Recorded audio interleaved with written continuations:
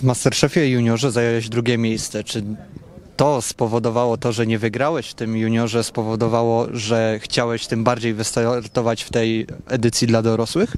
E, drugie miejsce w Masterchefie Juniorze właśnie e, miałem takie coś, że chciałem wystartować, tylko że na początku totalnie, totalnie nie chciałem i mówiłem, że nie, nie, jakby nie chcę, nie będę znowu się sprawdzał, a co jak e, odpadnę od razu, było mega dużo wątpliwości, ale w koniec końców musiałem chyba do tego dorosnąć i, e, i stwierdzić, że jednak chcę spróbować i że chcę jeszcze raz wystąpić, no i pamiętajcie, próbujcie rzeczy, bo to jest bardzo ważne. To co było tym elementem kluczowym, który, która, które zadecydowało o tym, że postanowiłeś wystartować? Eee, myślę, że elementem kluczowym tego, że chciałem wystartować, to był taki po prostu bodziec. Jakby chciałem coś zrobić e, wtedy w swoim życiu typowo ambitnego, żeby coś nagrywać, żeby coś więcej robić, ale tak zobaczyłem, że tu jest master, że są castingi do Masterchefa i tak mówię, no dobra, no to może spróbuję jeszcze raz. E, no i jak pomyślałem, tak zrobiłem i naprawdę nie żałuję, bo to była świetna decyzja. Jak wspominasz te występy, czy masz lepsze doświadczenia z juniorem, czy z, czy z tym drugim Masterchefem? E, Nie mogę w żaden sposób wybrać, gdzie są lepsze doświadczenia, ponieważ no, junior, a, master, e, a masterchef no, różnił się bardzo i niósł za sobą różne emocje i różne wspomnienia.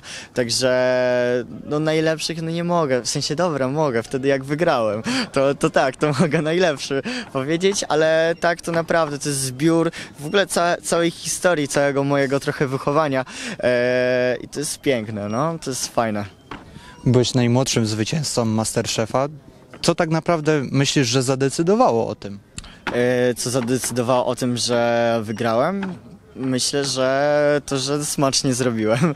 Smacznie ugotowa ugotowałem wtedy, e, wtedy dania. No i nie no, myślę, że miałem też doświadczenie jednak z Masterchefa Juniora, też miałem trochę innego mindseta, czyli e, w głowie sobie fajnie poustawiałem wszystko, kiedy, co i jak mam zrobić i naprawdę ta organizacja, którą wtedy miałem, to nigdy siebie nie widziałem w takim żywiole i w takiej determinacji e, i chyba przez te kilka rzeczy właśnie tak się stało. Wspominasz o tej de determinacji, ale czy być może jest to też zasługa kogoś, kto cię wspierał w tym finale? E, tak, jakby moja mama i moja siostra mega mnie wspierały, e, ale w, fin na finale ja typowo byłem odcięty od świata. Naprawdę miałem, widziałem tylko jeden świat, czyli moje stanowisko, to co mam zrobić i tyle. Jakby słyszałem, że dopingują mi, ale totalnie nic nie dochodziło do mnie z zewnątrz, tylko byłem zamknięty na siebie, tak. I pamiętajcie oczywiście o tym, żeby zasubować, zasubskrybować kanał przeambitni.pl. E, Kciuki w górę, jeżeli materiały, które tam się pokazują, przypadają Wam do gustu. Wciskajcie dzwoneczki, bądźcie z nimi na bieżąco. No i oczywiście piszcie komentarze. I tyle. Dzięki. Piona.